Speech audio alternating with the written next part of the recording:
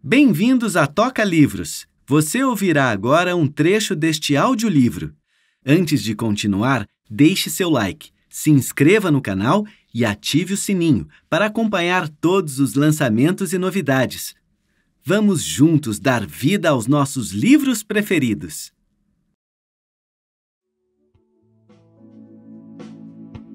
Agradecimentos. Agradecer é uma das forças mais poderosas da vida. Sendo assim, é justo começar o livro desta maneira. Entraremos no clima da leitura elevando a nossa energia. A gratidão tem esse poder, elevar a nossa energia ao máximo. Eu agradeço a vida por ser o fenômeno mais mágico que existe.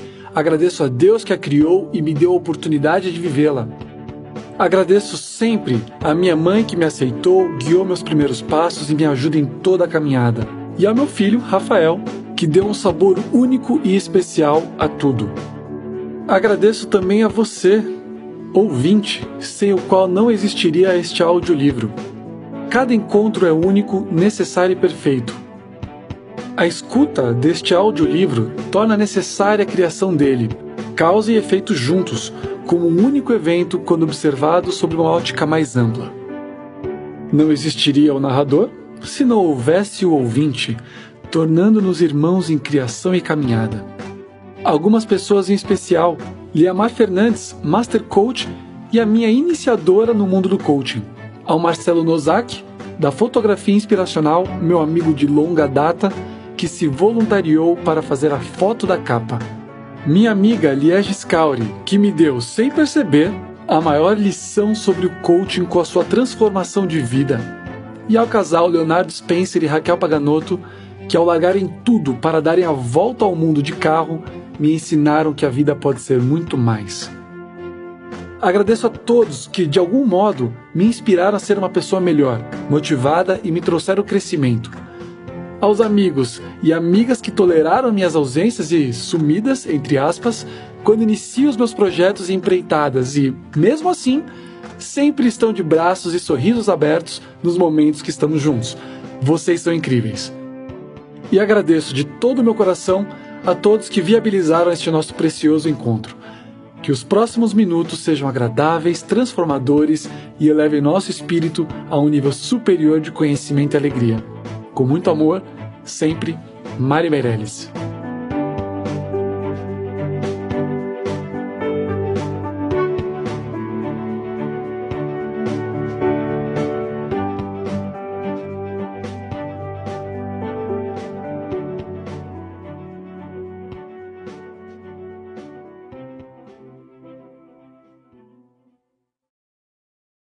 Qual o propósito deste audiolivro?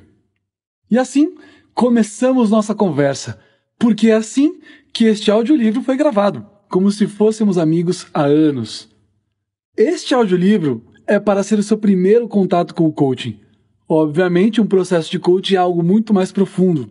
Entretanto, aqui conseguiremos dar um impulso inicial. Ao fazer os exercícios que aqui estão, ganharemos clareza, direcionaremos a nossa atenção, mentalizaremos algumas cenas importantes e, tudo isso junto, por algum motivo que a ciência ainda não explica, faz as coisas começarem a acontecer. Ele também é prático, objetivo, e eu gosto de ser assim. Frases e períodos bem definidos, o recado passado e ponto. E é importante que você reflita sobre o que você está escutando e escute com muita atenção. Mastigar as coisas demais não é o meu forte. Quero estimular você a pensar, levá-lo aos limites do seu raciocínio e de seus próprios paradigmas eu acredito que, caso você esteja precisando de alguns insights, ou mesmo já tenha considerado a possibilidade de procurar um coach profissional, este audiolivro te dará clareza sobre como trabalhamos e o que esperar de um bom processo de coaching. Muitos sentirão grandes transformações, outros nem tanto. Mas, como a evolução é uma das poucas certezas da vida, certamente você sairá melhor depois de ouvir este audiolivro. E este é o propósito deste audiolivro: trazer luz, clarear as ideias, organizar os pensamentos e devolver a você o poder de iniciar uma transformação em sua vida e atingir, obviamente, o próximo nível. seja lá o que isso represente para você. Acima de tudo, divirta-se. A história deste audiolivro. Você já passou por algum momento de dificuldade onde gostaria de dizer uma palavra mágica e bum, tudo se resolveria facilmente? Se a sua resposta foi sim, você é um dos meus. Foi exatamente assim que comecei a busca por ferramentas que pudessem me dar mais qualidade de vida. É impossível contar a história deste audiolivro sem passar um pouco pela minha vida pessoal. De certa forma, ele é, neste exato momento de gravação, uma convergência de tudo que passei e que aprendi nesses meus 31 anos de vida. Entender a história deste audiolivro, e por tabela minha, fará você acreditar mais nos preceitos ensinados. Isso é importante para diferenciar este audiolivro de outros milhões que existem no mercado. Não temos um audiolivro de autoajuda, apesar de que você usará as técnicas para se ajudar. Eu digo isso porque não sou um motivador, muito menos um guru com todas as respostas. Na realidade, algumas pessoas acham que isso é o coaching. Elas procuram um coach com várias perguntas, achando que ele vai ter todas as respostas. Mas muito pelo contrário, todos nós seguimos errando e aprendendo. Todos os seres humanos estão em aperfeiçoamento e sabemos que este é um processo doloroso. O trabalho do coach é provocar desconforto, fazer as perguntas que incomodam, desafiam e trazem mudanças.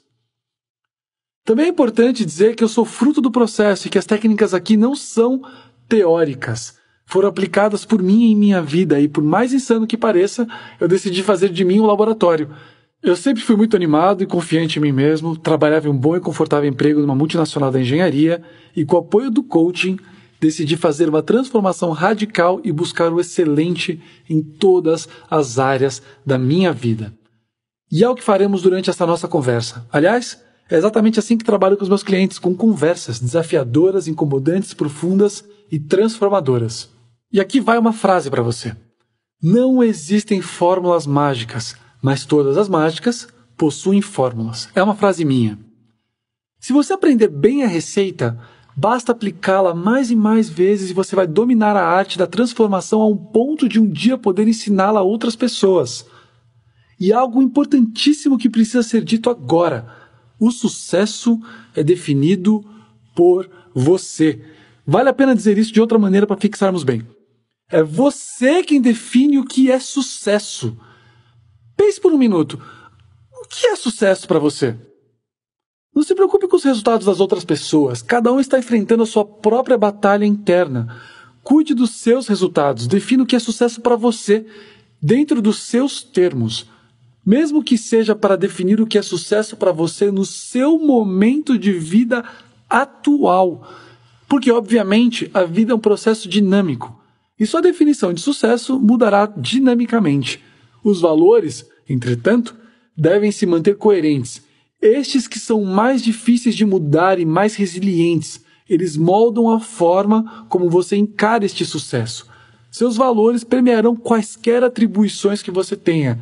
Seja você um engenheiro que virou coach, um economista que virou fotógrafo, uma arquiteta que virou comissário de bordo, um artista que virou advogado, estes valores estarão sempre com você. E é vital que você os conheça bem e que eles sejam valores alinhados ao bem-estar geral. Suas chances de felicidade aumentarão muito. Falando um pouco sobre a minha história, eu sou um estudioso. Eu gosto de entender, de dissecar as coisas até a sua essência de ver o seu funcionamento. Com relação às nossas vidas, esta é uma tarefa que pode ser completada apenas no último suspiro, aquele momento no qual, dizem eu acredito, passa um filme de sua vida e tudo faz sentido. Como eu sou um curioso, comecei cedo a estudar a vida antes que o filme chegue ao fim. Estudo o ser humano, seus processos e sua psique. Comecei a estudar filosofia, o cosmos, astrologia, fisiologia, programação neurolinguística, hipnose, meditação, tudo, tudo, tudo. Eu acredito que existe uma verdade absoluta e ela engloba todas as parciais. Portanto, cada objeto de estudo eu aceito como correto e verdadeiro, e assim, com total respeito, eu o incluo em meu catálogo mental de informações e coloco em prática para que eles se tornem conhecimento. Eu vi minha vida colapsar e se transformar radicalmente algumas vezes, mas nada como o mês de abril de 2009.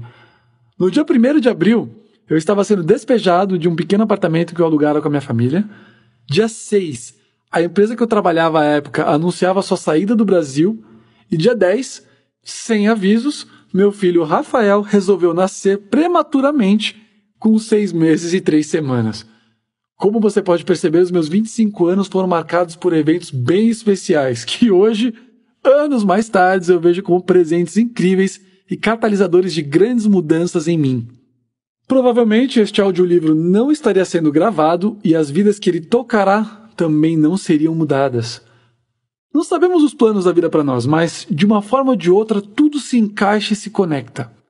O meu primeiro contato com o coach ocorreu alguns meses antes, em outubro de 2008, na empresa que eu trabalhava, eu cruzei com uma coach que oferecia serviços para a empresa.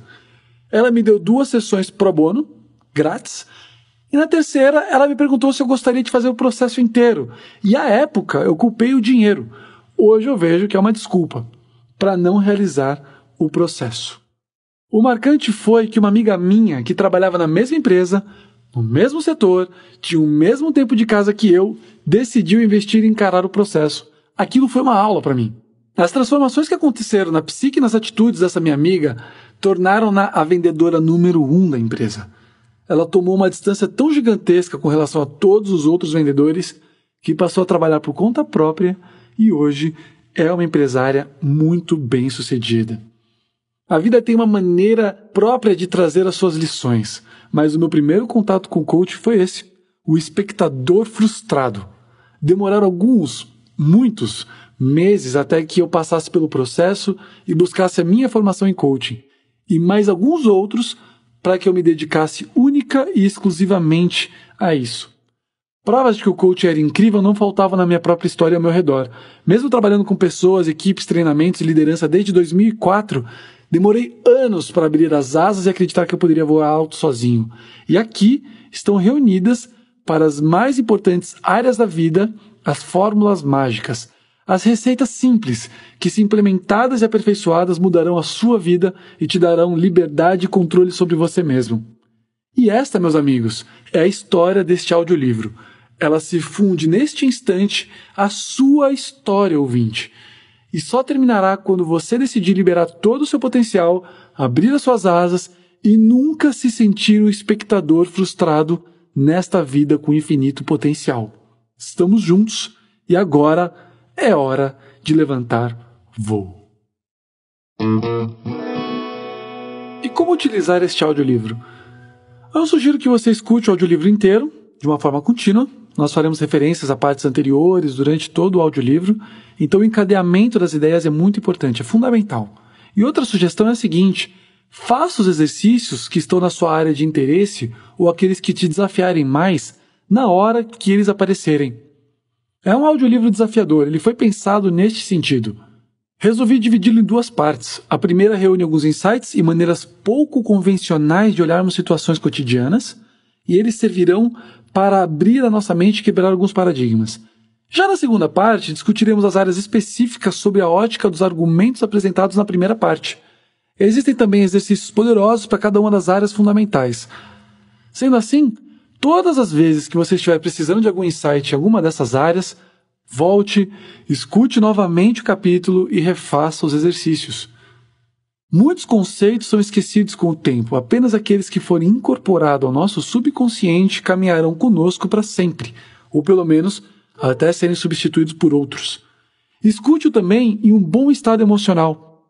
É impressionante como o nosso discernimento fica alterado com as emoções que estamos sentindo. E você entende o que eu quero dizer? Afinal, quantas vezes você falou algo com a melhor das intenções e foi mal interpretado por tê-lo feito em um momento inoportuno? Não quero que isso aconteça na nossa conversa. Dedique-se à escuta deste audiolivro em um ambiente tranquilo e com um estado emocional de aceitação e ausência de julgamentos. Julgue pelos resultados e não pelas ações. Coloque os exercícios em prática com vontade para que eles deem certo, afinal a vida é sua. Não chegaremos a lugar nenhum se não fizermos para valer. Vai ser só perda de tempo. E eu estou dedicando o meu máximo na gravação deste audiolivro, desenvolvimento de um raciocínio que consiga convencê-lo a aplicar tais conceitos. Entre comigo neste clima e dê o seu máximo. Uma vez isso aceito, reforço que cumpra as lições e os exercícios da sua área de interesse assim que forem propostos e não avance sem tê-los feito. Você pode, caso queira, separar um caderno apenas para os exercícios deste audiolivro. Ah, Mário, isso é muito chato, eu quero terminar logo. Olha, antes de qualquer coisa, eu também sou um leitor. Já li muitos e muitos livros e em vários deles eu pulava os exercícios por achá-los menos importantes do que a leitura em si. Hoje, como autor, eu tenho a certeza de que se as tarefas não fossem importantes, elas não estariam lá. Pense dessa maneira. Se você não tem um autocontrole e disciplina para investir alguns poucos minutos em simples exercícios que têm o objetivo de transformar sua vida, fica difícil acreditar que você vai colocar os conceitos em prática. No processo de coaching pessoal também temos lições e tarefas, e é através delas que ampliamos o nosso autoconhecimento, e ele é a chave para a mudança. Conhece-te a ti mesmo, disse Sócrates. Você pode conhecer todas as teorias e todas as leis do mundo, mas se você não conhecer os seus pontos fracos e os seus pontos fortes, ainda assim você não saberá nada. Então eu te pergunto, do que você realmente é capaz? Vamos descobrir. Gostou do trecho do audiolivro? Então acesse nosso site e baixe gratuitamente nosso aplicativo disponível para Android e iOS e ouça hoje mesmo a versão completa da obra. E não se esqueça de deixar seu like, comentar e se inscrever no nosso canal. Toca Livros trazendo vida a seus livros.